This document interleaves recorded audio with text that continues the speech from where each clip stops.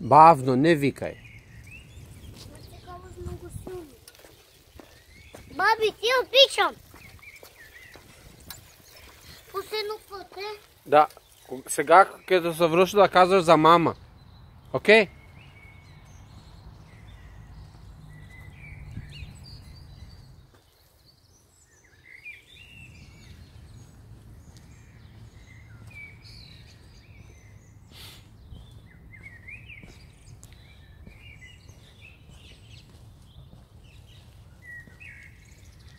Haj.